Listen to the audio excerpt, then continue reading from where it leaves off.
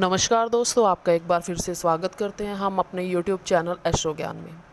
दोस्तों, आज हम अपनी वीडियो के अंदर आपको बताएँगे धोखेबाज पति को सबक कैसे सिखाएँ। दोस्तों, अगर आपका पति आपको धोखा दे रहा है, आप अपने पति को सबक सिखाना चाहती हैं, उनसे अपनी हर बात को मनवाना चाहती हैं। दोस्तों, आप अगर बहुत ज़्यादा परेशान हैं अपने शादीशुदा जीवन के अंदर तो आप हमारे यूट्यूब चैनल को सब्सक्राइब कर लीजिए और हमारे साथ वीडियो में लास्ट तक बने रहिए। दोस्तों शादीशुदा ज़िंदगी की नींव को जो चीज़ सबसे ज़्यादा मज़बूत करती है, वह होता है आपसी विश्वास। रिश्ते में प्यार से भी ज़्यादा जोड़े का एक दूसरे के प्रति वफादार रहना अहम है। हालाँकि, कई जगह देखा जाता है कि दुनिया में कई ऐसी महिलाएँ हैं जिन्होंने प्यार के कारण शादी की, लेकिन बाद में पति ने उन्हें दूसरी महिला के लिए धोखा दे दिया। इस स्थिति में फंसने वाली महिलाएँ या तो समझौता करते हुए लवलेस मैरिज का बोझ ढोती रहती हैं या फिर अलग होने का फैसला कर लेती हैं। इन दोनों ही परिस्थितियों में ज़िंदगी ख़राब होती है, लेकिन सबसे ज़्यादा फ़र्क पड़ता है उस महिला को, जो अपना सब कुछ छोड़कर अपने पति के लिए आती है, सिर्फ़ पति का प्यार और मान सम्मान पाने के लिए।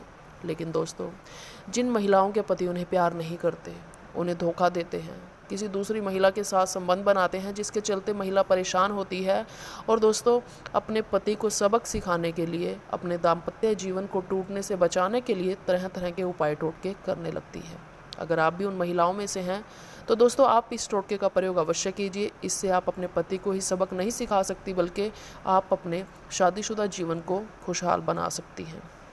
दोस्तों, यह वशीकरण बहुत सरल और प्रभावशाली है। इसके प्रयोग से दाम्पत्य जीवन कभी भी नहीं टूट पाएगा। इसके लिए आपको कुछ सामग्री की आवश्यकता होगी।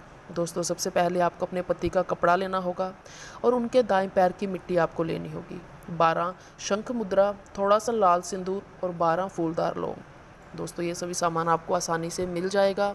जिस दिन भी आप इस वशीकरण क्रिया को करना चाहते हैं, ध्यान रहे, उस दिन शुक्रवार होना चाहिए। शुक्रवार के दिन आप रात्रि के समय इस कार्य को करें। करना क्या होगा आपको, दोस्तों?